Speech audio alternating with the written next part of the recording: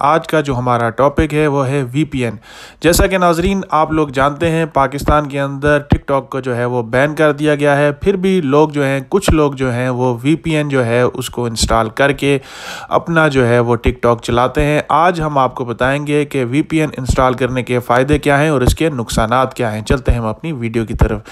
जी नाजरीन वीपीएन एक ऐसा ऐप है, जिसे आप इंस्टॉल करेंगे तो इंस्टॉल करने के बाद ऐसा होगा कि कुछ ऐसी जो ऐप्स होती हैं, जो जो उस मुल्क के अंदर बैन होती हैं, वो आप उसको चला सकते हैं। वीपीएन जब आप इंस्टॉल करते हैं तो वीपीएन जो है आपकी लोकेशन जो है, वो किसी और मुल्क की शो करता है। मिसाल के तौर पर आप अगर बैठे हुए हैं अमेरिका में, या आप अगर बैठे हुए हैं ऑस्ट्रेलिया में, न्यूजीलैंड में, या किसी भी ऐसे मुल्क में तो आप जो है, चाहते हैं कि मेरी लोकेशन जो है, उस मुल्क की शो ना हो, किसी और मुल्क की शो हो तो आप वीपीएन को इंस्टॉल करके अपनी लोकेशन जो है, वो चेंज कर सकते हैं।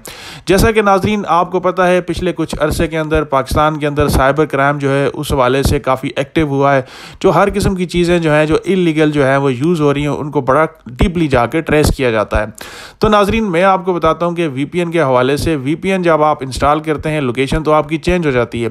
आपने वी को इंस्टॉल किया, आपने टिकटॉक को इस्तेमाल किया, और उसके बाद जब आप फेसबुक अपना इस्तेमाल करते हैं, या व्हाट्सअप अपना इस्तेमाल करते हैं, या अपना ईमेल अकाउंट जो है, वो यूज़ करते हैं खा वो याहू का हो, या या गूगल का हो या कोई भी हो जी का हो, कोई भी अकाउंट हो, लेकिन होता यूँ है कि जब आप वीपीएन को इंस्टॉल करते हैं। इंस्टॉल करने के बाद आपकी लोकेशन जो है वो पाकिस्तान की नहीं शो हो रही होती, किसी और मुल्क की शो हो रही होती है। आप वो एप्लीकेशन इंस्टॉल करके जब इस चीज़ को इस्तेमाल करते हैं तो आपकी लोकेशन जो है वो किसी और मुल्क की शो हो रही होती है। तो ऐसा होता है कि जब आप उसको एप्लीकेशन को ऑफ़ करते हैं VPN को तो उसके बाद आपकी लोकेशन जो है वापस अपने मुल्क की शो होने लगती है। तो ऐसा जब बार बार होता है तो याहू की इंतज़ामिया जो है और फेसबुक की इंतज़ामिया जो है व्हाट्सअप की इंतज़ामिया जो है क्योंकि वो मुसलसल जो है आपको ट्रैक कर रहे होते हैं।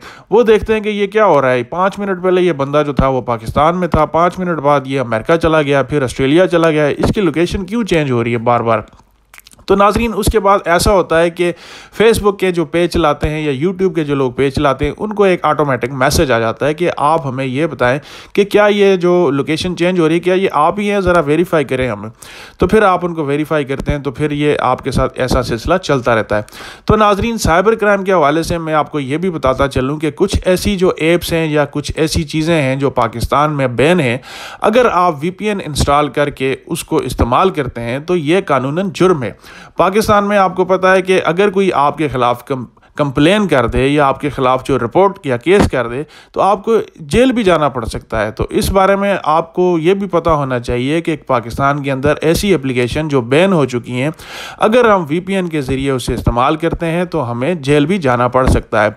तो नाजरीन, पाकिस्तान में जैसा कि आपको पता है कि कुछ लोग ऐसे होते हैं जिन्हें पता तो नहीं होता इस बारे में कि इसके नतज क्या होंगे तो फिर इन दी एंड जाके आपको इसकी बड़ी काफ़ी भारी कीमत जो है वो वो अदा करनी पड़ती है कि जैसा कि पाकिस्तान पाकिस्तान के अंदर आपको पता है कि टिकटॉक जो है वो बैन हो चुका है, फिर भी लोग जो हैं वो वीपीएन के ज़रिए उसे देखते हैं, इस्तेमाल करते हैं, लेकिन हमें यह चीज़ भी जान लेनी चाहिए कि अगर कोई हमारी रिपोर्ट करता है या कोई ऐसी चीज़ हम इंस्टॉल करके चलाते हैं जो पाकिस्तान में बैन है, वो वीपीएन के ज़रिए हम चलाते हैं तो हमें कानूनी जो है, वो कार्रवाई जो है, उसका सामना भी करना पड़ सकता है। तो नाजरीन तो जैसा कि आपने देखा है कि वीपीएन के ज़रिए और भी काफ़ी नुकसान होते हैं, क्योंकि वीपीएन वाले जो हैं, वो तो आपको इसके नुकसान नहीं बताएँगे। कि वी का जो इंस्टॉल करके जो आपको एक नुकसान जो है, वो ये भी है, क्योंकि वीपीएन जब आप इंस्टॉल करेंगे तो आपकी सारी डिटेल जो है वो आपकी अकाउंट्स की, आपकी कॉन्टैक्ट्स आपकी सारी डिटेल्स जो है, आपका डेटा जो है वो उनके पास चला जाता है, जो खैर इलीगल एक्टिविटीज़ में भी इस्तेमाल किया जा सकता है। जैसा कि आप जानते हैं कि बहुत सारे ऐसे काम भी होते हैं जो गैर कानूनी होते हैं। तो आप लोगों को इस चीज़ को भी जहन में रखना चाहिए कि कोई ऐसा काम हम ना करें जो हुकूमत की तरफ़ से गैर कानूनी हो या इलीगल हो। वीपीएन के हमने आपको नुकसान भी बताए हैं और इसके फ़ायदे भी बताएँ अब ये आप पे डिपेंड करता है कि आप इसको इस्तेमाल करते हैं या आप आप इसको इस्तेमाल नहीं करते। तो नाजरीन, आज की हमारी वीडियो जो है, वो वी के हवाले से ही थी। उम्मीद करते हैं कि आपको हमारी ये आज की वीडियो पसंद आई होगी। नेक्स्ट किसी वीडियो के साथ हम आपकी खिदमत में दोबारा हाज़िर होंगे। तब तक के लिए हमें इजाज़त दीजिए। अल्लाह हाफिज़।